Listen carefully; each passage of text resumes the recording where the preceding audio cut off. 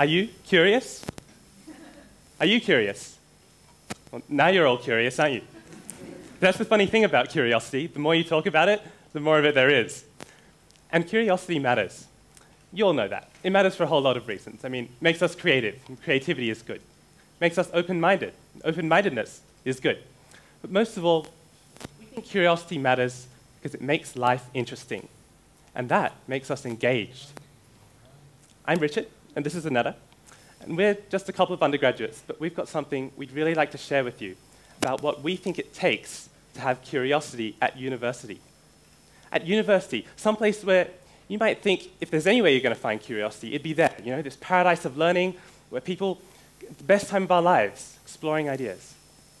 Well, what if I were to tell you that when I go looking for curiosity at university, a lot of the time, what I see is this.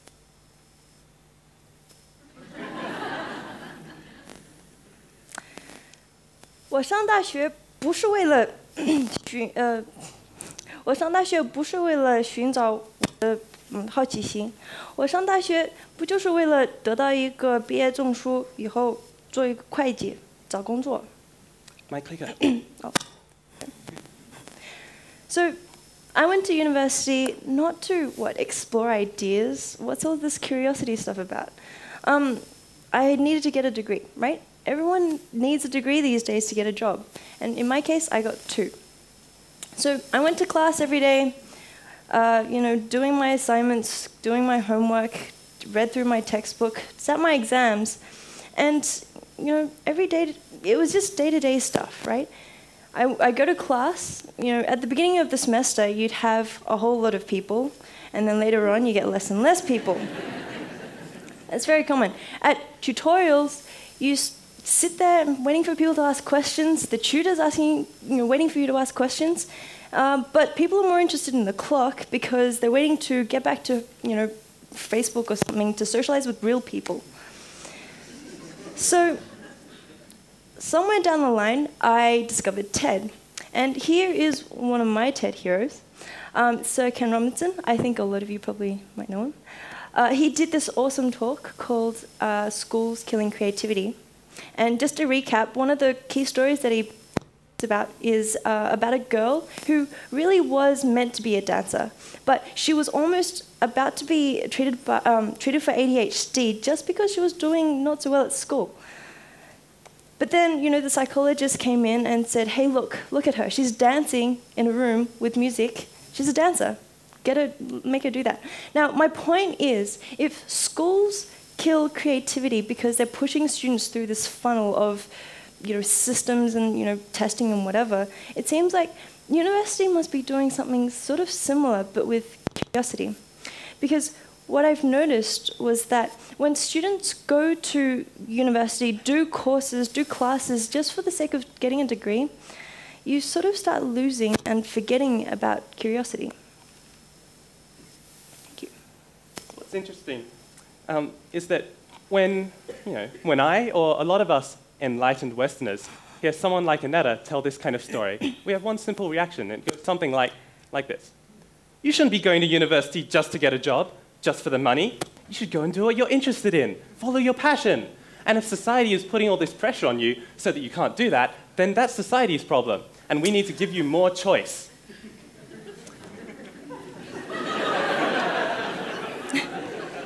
Annetta drew all these slides, by the way. She's amazing. so hold on a second. I don't think it's that simple. And the reason I don't think it's that simple is because I found myself in a very similar situation to Annetta, but I had all the choice in the world. I was exactly the kind of fortunate student who didn't have to uh, work to study at university, and I got, what it, I got good enough grades to study whatever I wanted to do. When I, when I left school at 18 years old, I had no clue what I wanted to study.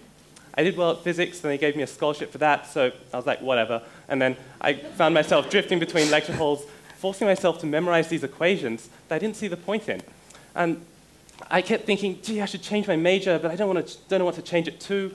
And maybe some of you will relate to me saying that I felt like I was interested in everything, but nothing really grabbed me. Nothing really piqued my curiosity. So one of my favorite TED Talks is by Barry Schwartz. Talks about the paradox of choice. You know, when you go shopping for jeans, there's 500 jeans for sale, and you're like, I don't know what pair to choose, and you get paralyzed by indecision. Worst of all, whatever pair you do end up picking is going to leave you unsatisfied because you keep thinking, man, the button fell off. I could have got that other one. I'm sure that would have been better. And other times, you may not even need it, right? So I think exactly this paradox of choice is facing students who have freedom to choose what they want to do at university today. You know, we leave school at 18 years old in this hyper complex world, and we have to pick from sometimes 120 different specialized degrees that will determine what we do for the next three, four, sometimes the rest of our life. I think it's no wonder that students like me find ourselves drifting, unengaged, thinking the grass will be greener on the other side, and we're not curious about what we're actually doing. Now, this is strange because, on the one hand, you've got Aneta, and we're saying she needs more choice to be engaged with university. On the other hand, there's me, and I'm saying it's almost like I've got too much choice, or something like that. The idea we'd like to present to you today is that if the problem is a lack of curiosity, then the answer isn't about more choice or less choice or something like that, but actually something completely different, something totally out of this spectrum. So, last year in my third year at university, I discovered this course called Unraveling Complexity at ANU. Um, it's a completely new course, and it hits on something that's very interesting. They do cross-disciplinary inquiry. And I really want to highlight this point because cross, being cross-disciplinary is a pretty new thing, um, and it, you know, a lot of people don't quite get it just yet. Now, being cross-disciplinary is really special because you get a chance to talk with other people. Um, this course brought together a whole lot of students from all over the campus, um, from all different disciplinary backgrounds. And you got a chance to actually talk with them and figure out that the world is much bigger than just your average little world. It was the first time I was actually able to reflect on what I was doing at university, um, how accounting or, or my Chinese studies actually fit into the bigger picture. Now, I can imagine you're all thinking, oh, geez, you know, cross-disciplinary, uh, such a buzzword and stuff like that. But that's not really what I'm getting at. I mean, okay, it is a buzzword. You know, it's great. It's great. I mean, you've got teamwork, you've got breadth first depth, and all that. You know, you know all of that, right? But I want to harp on something a little bit more personal than that. Um, being cross-disciplinary can catalyze our curiosity by taking us out of our little fish bowls of our individual lives, our individual little disciplines, and chuck us in a much bigger, brighter, and more diverse context. Now, while Aneta was doing this really interesting course at ANU, I was also doing something really cool, but it wasn't in Australia at all. I was on exchange at the National University of Singapore, and there I was part of this really exciting program called USP, the University Scholars Program. That was cross-disciplinary, and that was great, but it wasn't the courses, as awesome as they were, that made it so special. The best thing about it was the cross-disciplinary community and the discussions we had. And the reason is this.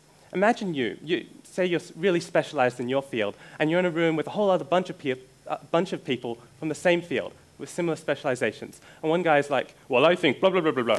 And then the other guy is thinking, hey, uh, that's not right. I know better than him, but he doesn't want to speak up. He doesn't want to hurt that guy's ego. And then you're like, oh, I better correct him. And then everyone just gets into this huge argument because they feel they have to justify their positions against each other.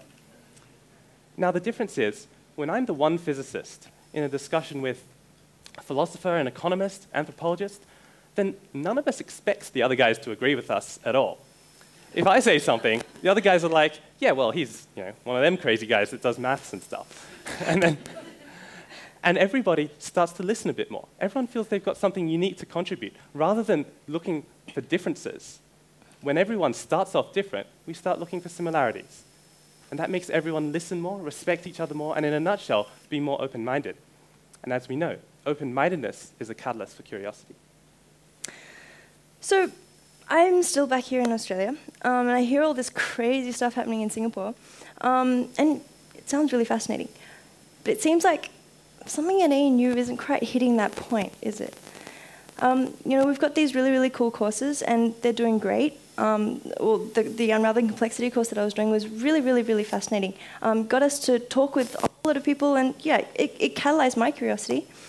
But what I realized was the moment we leave the classroom, people sort of just go back into their own busy little lives again. You know, that's great and all, but you know, come on.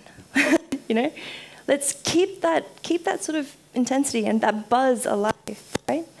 But you know, it's still a little bit weird because you know, when you go out of the classroom, you know, all buzzing with ideas, you still feel a little bit weird just going up to someone random and going, "Oh my god, oh my god, oh my god! I've learned this really interesting thing." Because, hey, you know, people sort of look at you funny.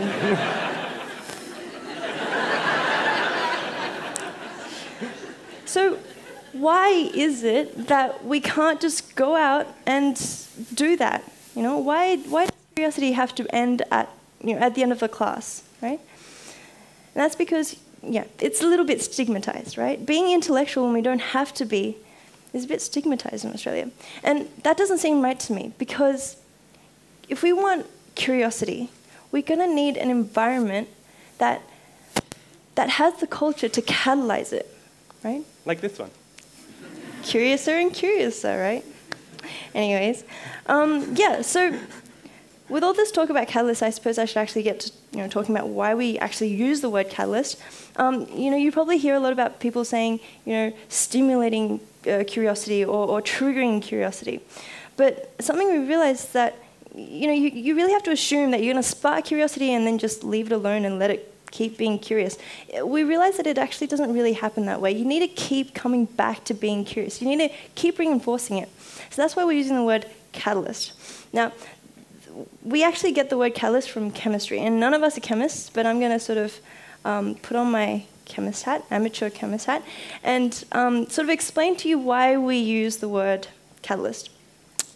Now, in chemistry, we've got um, the, there are a lot of times when you've got sort of reactions that want to happen between two elements, but it doesn't quite happen without a third element, and that's called a catalyst. Um, but the moment you take away the catalyst, it goes back to not reacting again, right? So that's very similar to what we've got here.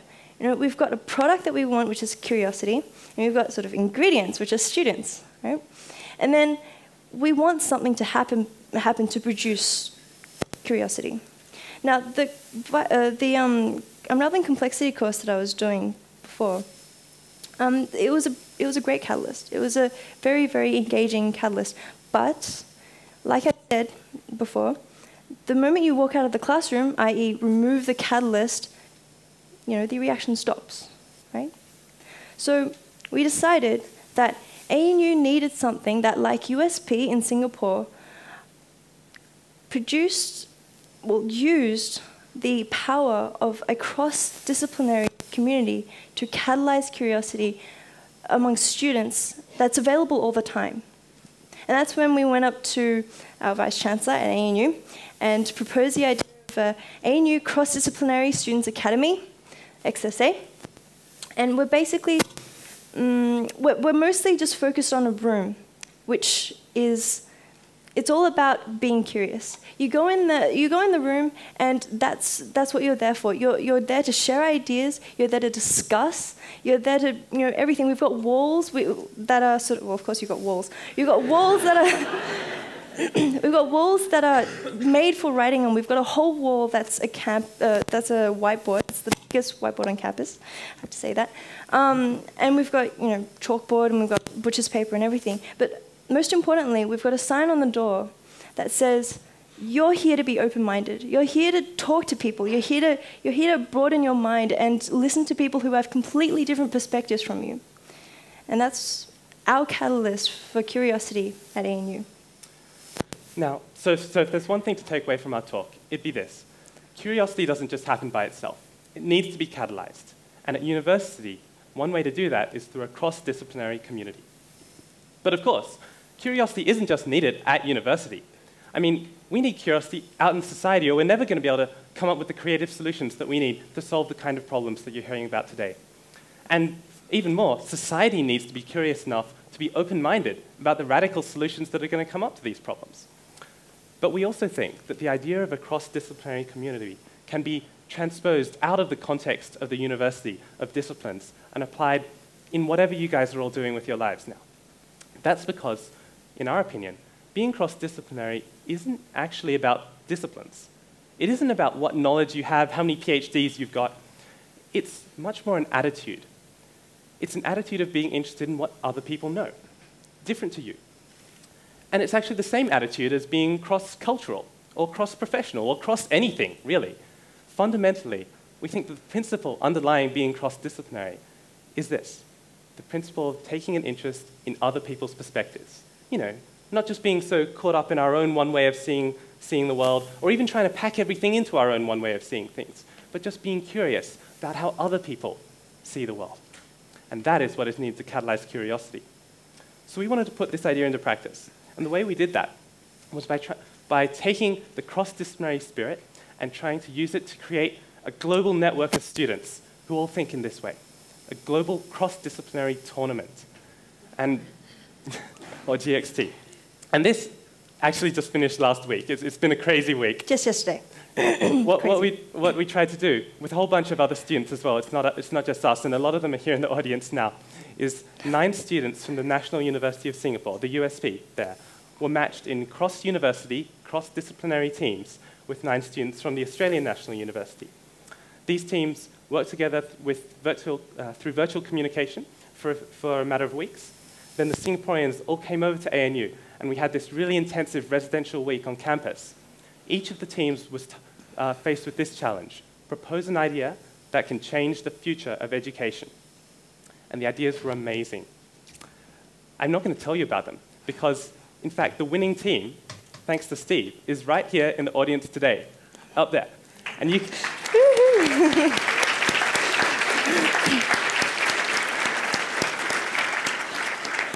and you can go and talk to them yourselves in the break about their vision for the future of education. It's awesome, but uh, yeah, I'll give you one hint. It's, it's about trust. So, the other reason I want to mention them is because, in a lot of ways, we should be thanking them. It's, this is not our talk that we're giving, but it's the talk inspired by all the amazing ideas that came out through this meeting of minds at ANU over the past, over the past month. It's been all about curiosity, why it matters, and particularly at university. About the fact that curiosity needs to be catalyzed. It doesn't just happen. It only happens in certain environments. That one such environment at university is a cross-disciplinary community because it makes us see the big picture and be more open-minded in our discussions. But also that this idea can be extended far beyond university into our lives as we move out into the world because the real catalyst that is needed for, for curiosity is a community about taking an interest in other people's perspectives. So that's the challenge. We're going to be leaving university at the end of next year, and we're going to be looking for something. We're going to be looking for the kinds of companies, governments, communities, society that can catalyze our curiosity. If we can do that, everyone will be more creative and we'll get more cool stuff. like iPhones and stuff like that. 如果我们能制止我们的好奇心，人们都会对学其他的语言更感兴趣，其他的文化也更感兴趣。 因此，大家都会更开放。But most of all, if we can catalyze our curiosity, then life will be so much more exciting, meaningful, and fun. And hey, we're at TED, right? TED is a really great community that catalyzes curiosity. And we're here to celebrate curious people, and that's like everyone here, right? So let's go and celebrate.